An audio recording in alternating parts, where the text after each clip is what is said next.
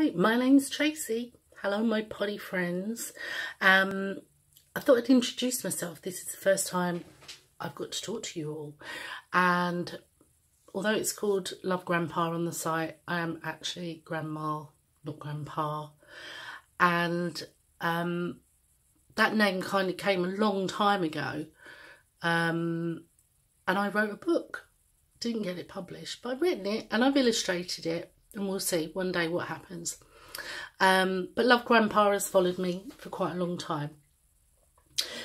The studio part of it, where there is clay, is actually called Earth Pottery Studio. And if you imagine the earth with a little e, a big A, a big R, and a big T, and a little H, R is in the middle. So it's Earth Art Studios. So that's us. That's when we're in the studio. Love Grandpa does a lot of other things and we advertise on there as well and the shop is on there. Um, but I just wanted to tell you a little bit about me. I started this not that long ago in 2017 in November. I just decided I'd bored of work, didn't want to do it anymore. And I thought, right, what can I do? I need a change of vocation. I was going to give myself a bit of time. I was going to give myself some time to just step away learn a new thing. I watched the Great Pottery Throwdown. That was the turning point. And I, I just decided, that's it. That's, that's exactly what I want to do. So I bought some air dry clay. When I bought the air dry clay, I didn't realise at the time that you can't fire it and it's actually not as strong or robust. But I created some things that people said that were really lovely. So I'll take that on the chin. Here's one of them. This is Claude. There's quite a few others and I'll show you those later. But um, Claude and Bert and Henry, there's loads of them. And I haven't done any sculpture since I've done those, but I have started potting. So in the November I started, and then by the January I was making them for other people. So I loved it. But I, I didn't have anywhere to fire them. And this was just devastating. If you can imagine your baby, your creation, your thing that you love, and you take it away and give it to somebody and they just slam it down on a shelf and they whack it in a kiln with everybody else's stuff. Don't care whether it's on the right temperature or not. Not that I knew at that point, but didn't didn't care about it at all. But I'd slaved over every tiny little hair on that dog's head and I needed to make sure that I was in control. So I went out and I bought Nessie Nessie is my big green kiln. I bought it from a school. Best thing I ever did. It came with every glaze you can imagine, although I have got some in here now and I've added to it and one thing and another. But that was such a good start for me.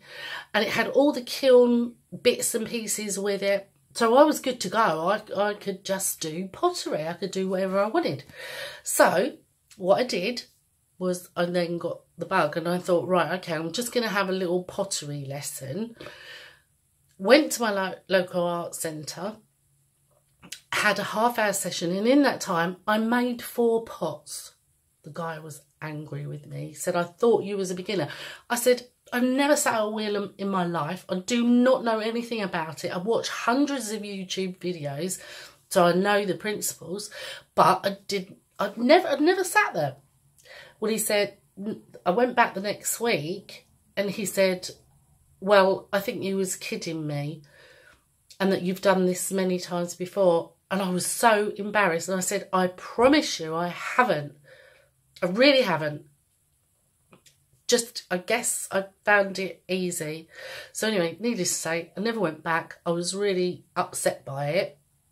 Not that upset, but you know, it did, it did sort of throw me a little bit and I ordered a Shimpo potter's wheel.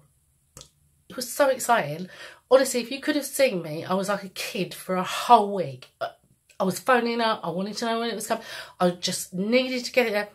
And the day it arrived, my son said, I will make you a stand for it and then you can just carry on and get on.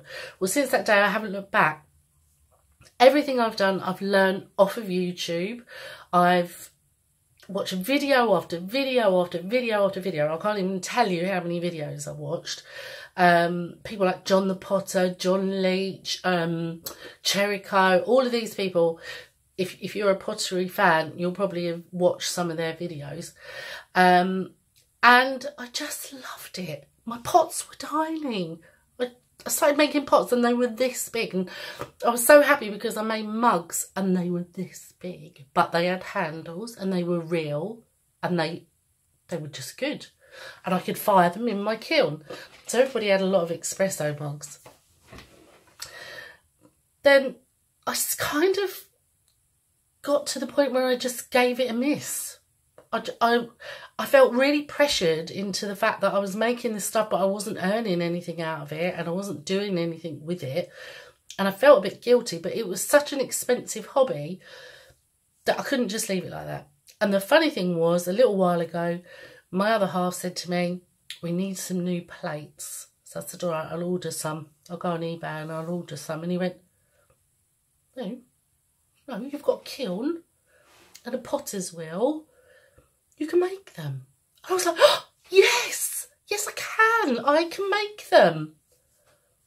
Couldn't do plates at the time, but I've tried and I tried and eventually we got plates. So even if you don't know, you just practice and it comes to you. So now I've been going ever since and to be honest with you, I just love it. My mugs are bigger. They're so much bigger. And I'm proud of that fact. I can actually call them adult mugs. Not, you know, not mini mugs, adult mugs. I'll show you one. There. That is an adult mug. There you go. So I did it. And now I've set up my shop. I've got everything ready to go on Facebook. Um, I want to try and do some videos for you so that you can see what we're all about. Um, in the next video, I'm going to show you the studio. I won't do it today, but I just thought I'd make a little introduction. I'm really happy to meet you all. I hope you keep coming back and looking at the things I put on. They're going to be different things, and I don't always stick to doing mugs and bowls and things like that. I might make a reindeer or moose or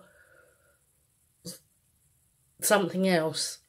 Who knows? So you never know what you're going to see. Um, if you've got any ideas or things that you'd like to talk about, you can let me know. Um, I'd love to interact with you a lot. So let's see how we go. If you like it, come back and see me. If you don't like it, sorry. And we'll go from there. Okay. See you, crazy potters. Bye, bye, bye.